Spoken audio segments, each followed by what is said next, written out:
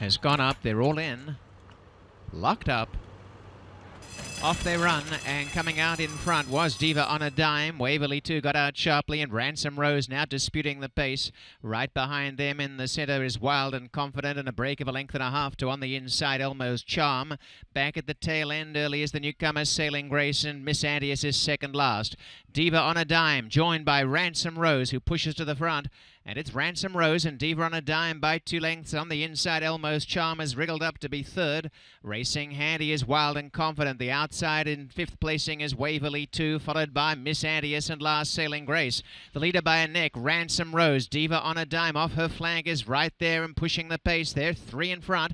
And as they come down towards the final quarter, the top two well out ahead. Diva on a dime challenging Ransom Rose again. They're now five to Elmo's Charm and Wild and Confident. And Diva on a dime dime, struck the front. Diva on a dime just led. Ransom Rose on the inside, and they're well ahead. It's Diva on a dime trying to come away from the inside a bit, was drifting in, but Diva on a dime in front. Ransom Rose fighting back on the inside and has something up the sleeve and has come back to take over and was just teasing. Ransom Rose at the wire by a length. Diva on a dime has run second, seven lengths away third. Elmo's Charm, and then Miss Antius.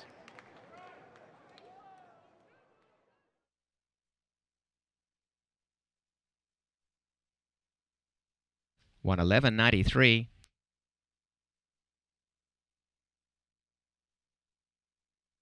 Ransom Rose taking that all-important win here tonight and is a Bay three-year-old filly by Corinthian from Red Ransom Dam, Sweet Ransom, and Race to Victory by Nick Sampagna. Pat Parente is the winning trainer. Winning rider Sheena Ryan. Ransom Rose bred by Black Canyon Thoroughbreds Limited and takes the first race in a seventh lifetime start.